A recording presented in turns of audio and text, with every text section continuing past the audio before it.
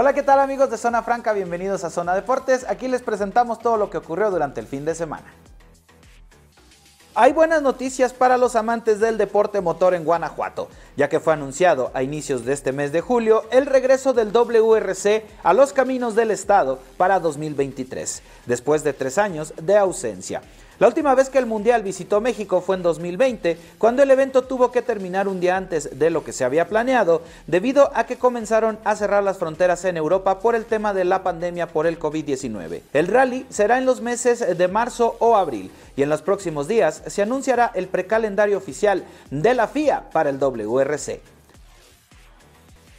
Al respecto, Gilles Spitalier, director de Rally Mex, platicó sobre cuáles son los planes para el próximo año.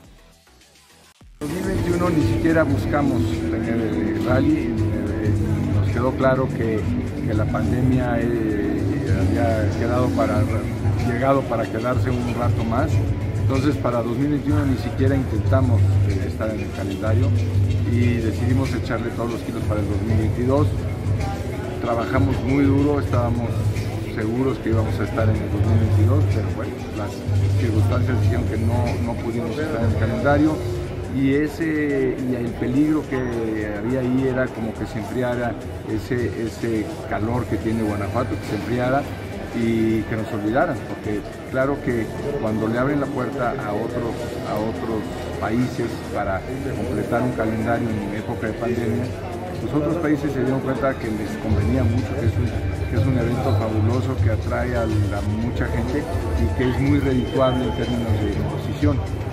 Entonces, ya para 2022 entró una competencia enorme en muchos países eh, y, bueno, fue la decepción, cuestiones técnicas, cuestión de, infraestructura que no había disponible, eh, pero entonces ahí sí eh, teníamos que arriesgar en 2022 para tener, asegurar que no nos olvidaran. Y por eso ese trabajo que hicimos de hacer un, rally, el rally de las naciones, que fue como todo el mundo lo llamó, el mini WRC, era importante porque queríamos mostrar que estamos trabajando, que estamos listos y que el realismo en México está presente. De igual manera, Juan Subervil, presidente de Rallymex, comentó lo siguiente. Claro, quedaron todos en Europa porque así podían escapar rápido a su país. Y también había el problema de los coches nuevos híbridos, a dónde los vamos a enchufar, qué refacciones hay allá, qué refacciones hay acá, y todo eso tenía mucho que ver eh, si sí o si no se podía hacer el rally. Oiga, pues nada más invitar a la gente que siga toda la acción del rally por TV4. Ah, no, sí. En el año de 2023, ahora es 2023, marzo, abril, una fecha que será inolvidable para Guanajuato. Que un año por decirlo, un año estuvimos luchando para poder tener este evento aquí en Guanajuato. La gente de, de, WRC le gusta venir acá, pero habían trabas que habían otros países que se atravesaban y que nos luchaban mucho, pero aquí estamos ya, ya regresamos, ya regresamos un pedazo de León y de Guanajuato que le hacía falta. Muy contentos, hicimos esto con sorpresa porque hasta hace muy poquito se, se destrabó los, las situaciones, aquí estamos muy contentos de regresar a un Guanajuato y a una ciudad de León súper modernizada, está mejor que de hoyos, aquí está todo impecable, todas las calles están barridas, es impecable, la ciudad de León es impecable, Guanajuato es el mejor estado.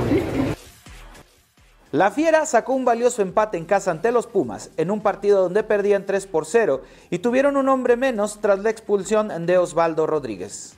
El delantero Lucas Di Llorio marcó doblete y también Joel Campbell que se hizo presente con la segunda anotación. Así, la Fiera mantuvo el invicto en este torneo.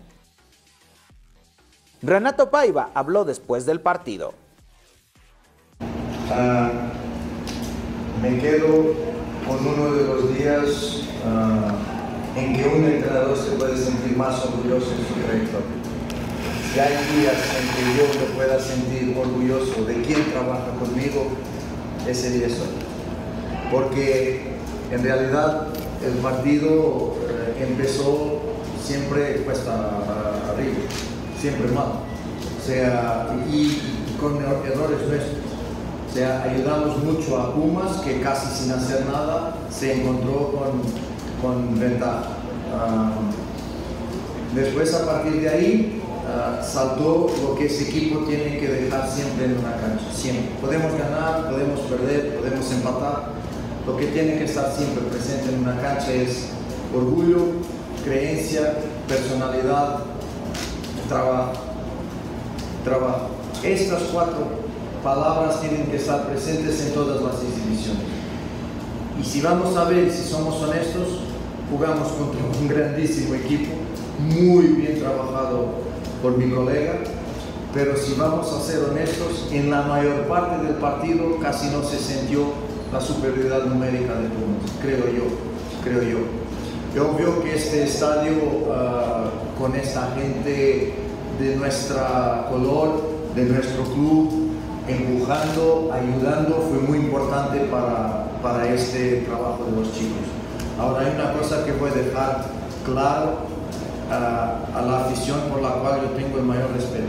No me insulten mis jugadores y no me pidan para hacer cambios, porque estaban insultando a Byron, mis, mis adeptos, estaban insultando a Byron y pedir que Byron salga exactamente en el momento que Byron hace la jugada del gol Exactamente en ese momento. No me pidan eso, porque necesitamos de todos. Todos tenemos que empujar en la misma dirección y percibir que el partido está difícil, que estamos con menos jugadores, pero necesitamos de ellos. Ellos han sido en muchos momentos el décimo primero jugador que nos ayuda. Así que juntos todos, porque el equipo estaba junto. Entonces, me quedo ni con punto, ni con puntito, ni, con puntazo. Me quedo con un tremendo orgullo del trabajo de mis jugadores en la.